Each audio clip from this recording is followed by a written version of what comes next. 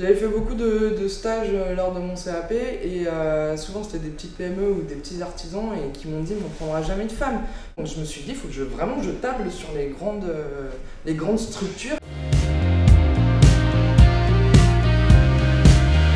Bonjour, je m'appelle Cécile et j'ai 32 ans, je suis opératrice caténaire à la SNCF. Alors, je suis opératrice caténaire à la SNCF, ce qui consiste à faire de la protection électrique, à faire de la maintenance ou de la surveillance travaux. Moi, je suis plutôt axée surveillance travaux et protection électrique. Concrètement, je sécurise euh, la haute tension euh, pour les gens qui travaillent aux abords. Actuellement, je suis à Vers-sur-Marne et euh, on crée un technicentre pour les nouvelles rames qui arrivent pour EOL. La caténaire, c'est le câble électrique qui permet de faire avancer les trains et nous avons deux types de tension en France, le 1500 volts continu et le 25 000 volts alternatif. Les pannes caténaires peuvent être dues aux conditions climatiques, que ce soit le froid, la chaleur ou les tempêtes, l'usure des pièces ou un arrachage caténaire euh, par un pantographe usé, un train. Alors euh, au départ j'avais plutôt une spécialité électrique, euh, un CAP en électricité, donc j'avais postulé pour un service électrique et on m'a appelé pour un poste de caténaire. Je ne savais pas ce que c'était spécialement, donc je me suis renseignée et j'ai vu que c'était de la haute tension. Et ayant fait euh, durant mon CAP un stage EDF, euh, e euh, je me suis dit pourquoi pas, ça pourrait être plaisant et effectivement ça a très bien accroché. la formation à la prise de poste est la même pour tous les opérateurs caténaires. Du coup, je suis montée à la caténaire aussi, comme tout le monde. Ça dure à peu près tout mis bout à bout, on est à trois mois de formation. Quand j'arrive sur un chantier, on commence par le briefing avec les collègues et l'entreprise.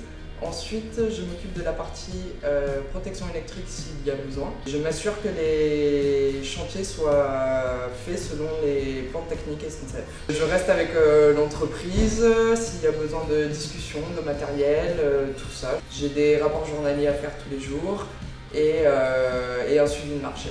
Ce que j'aime, c'est le changement constant, de devoir euh, s'adapter, de la discussion technique avec euh, les différents partenaires, le côté sécurité qu'il faut absolument tenir.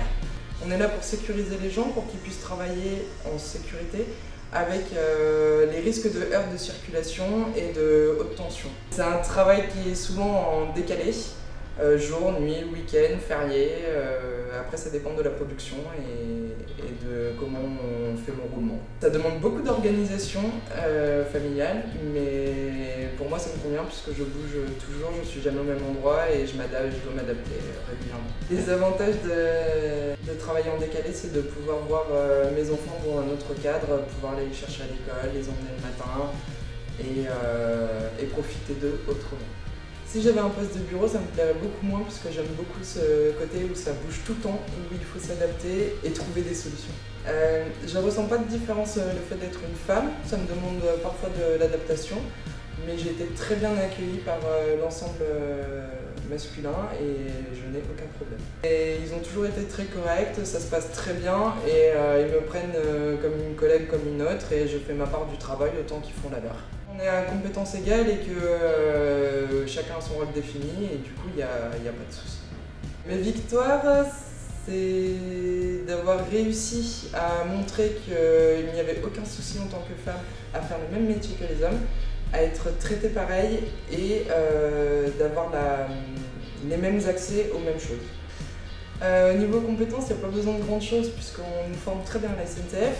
Par contre, euh, en qualité, il faut de la curiosité, de l'adaptation, aimer ce qu'on fait, aimer découvrir, aimer apprendre. Il y a toujours plein de choses intéressantes à voir et à faire, même dans les différents métiers qui font corps avec notre métier propre. Actuellement, je suis en formation pour être euh, chef d'équipe et à terme, d'ici en deux ans, je voudrais être contrôleur caténaire.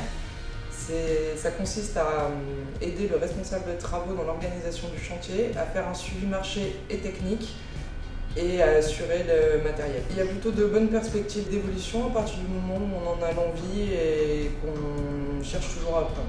On est très bien accompagné, que ce soit par euh, les formateurs ou euh, l'encadrement. Euh, je leur conseille de venir dans ce genre de métier si elles aiment le côté technique et apprendre et découvrir de nouvelles choses.